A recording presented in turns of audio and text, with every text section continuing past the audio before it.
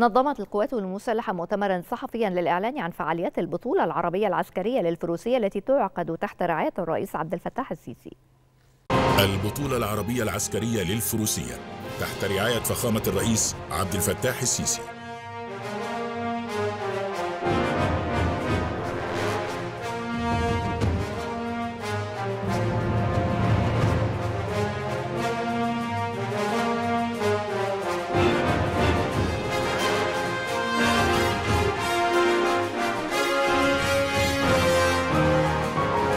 البطولة العربية العسكرية للفروسية.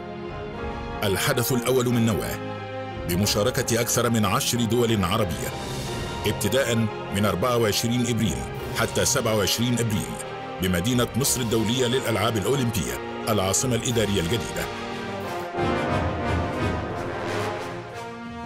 نظمت القوات المسلحة مؤتمرا صحفيا بحضور ممثلي وسائل الإعلام المحلية والعربية. للإعلان عن فعاليات البطولة العربية العسكرية للفروسية لقفز الحواجز والتقاط الأوتاد والتي تنظمها القوات المسلحة تحت رعاية السيد الرئيس عبد الفتاح السيسي رئيس الجمهورية القائد الأعلى للقوات المسلحة. وذلك خلال الفترة من الرابع والعشرين وحتى السابع والعشرين من شهر أبريل الجاري بنادي الفروسية بمدينة مصر للألعاب الأولمبية بالعاصمة الإدارية وبمشاركة 11 دولة عربية وبحضور عدد من قادة القوات المسلحة والشخصيات العامة والإعلاميين.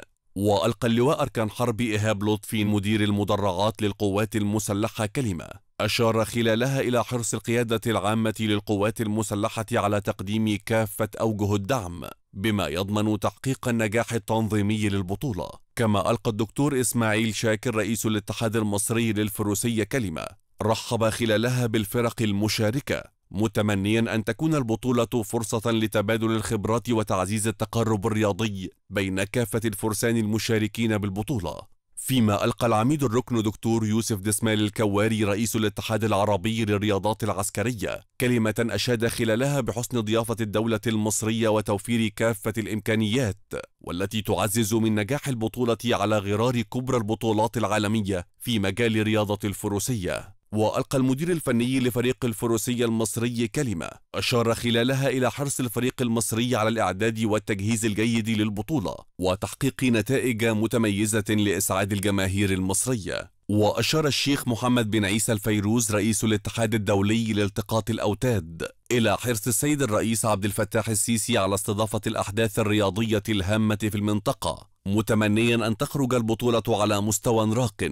نظرا لما تتمتع به مدينة مصر للألعاب الأولمبية من إمكانيات هائلة كما ألقى ممثل الشركة المصرية للاتصالات الراعي الرسمي للبطولة كلمة أعرب خلالها عن تقديره للتعاون المثمر بين كافة الجهات المعنية لتنظيم البطولة في نسختها الأولى وظهورها بالمظهر المشرف. كما ألقى الدكتور أشرف صبحي وزير الشباب والرياضة كلمة أعرب خلالها عن تقديره لجهود القوات المسلحة في تنظيم فعاليات البطولة. مشيرا إلى ما تمتلكه الدولة المصرية من بنية تحتية حديثة ومنشآت رياضية متطورة قادرة على استضافة كبرى المسابقات الرياضية بمستوياتها المختلفة.